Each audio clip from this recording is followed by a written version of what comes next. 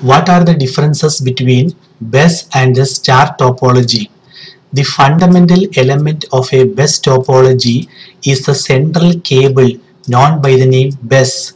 The fundamental element of a star topology is the central device known by the name switch.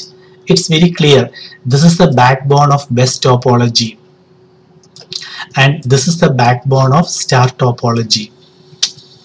The speed of data transfer is slow in bus topology and it is comparatively fast in star topology. Why it is slow in bus topology? Data can travel only through a single cable. So at a time only one host can send the data. So this is comparatively slow when compared to star topology. The network orientation is linear and here it is non-linear. You can see all the host computers are connected to a central cable. So orientation is linear and here different hosts are connected to a central device known by the name switch. So certainly the orientation is non-linear. Cost is low, less cabling is required. The cost is quite high and more cabling required. Why less cabling is required? Because if you want to add a new host that should be connected to the central cable. So you need only one cable. Other hosts are connected to that single cable. So less cabling is required thereby the cost is less. Here every host should be connected to the central hardware device known by the name switch.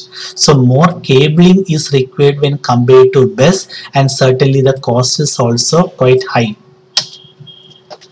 Fault detection is difficult fault detection is easy the central cable does not have an idea about each and every host connected to the network. So if any one host fails, the central cable will not be able to identify the host.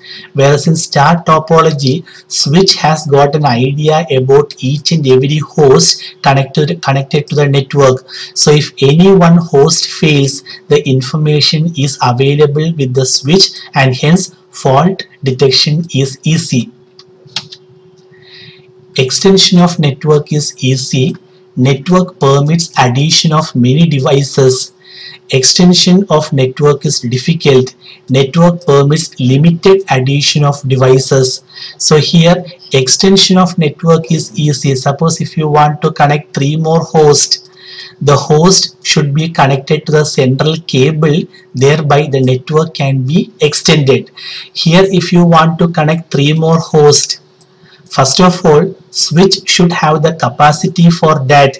If this is an 8 port switch, maximum you can connect 8 hosts.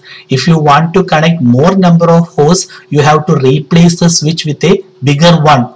Okay, so extension of network is difficult in the case of star.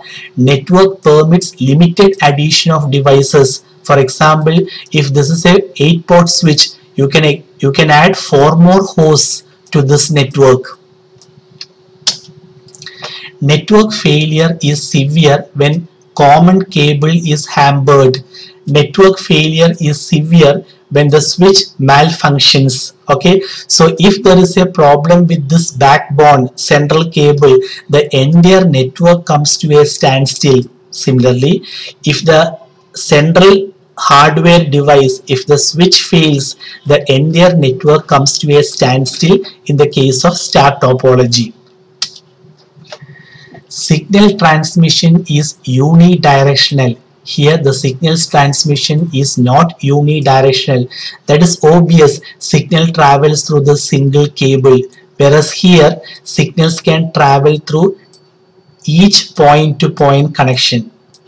Okay, so it is not unidirectional whereas here it is unidirectional.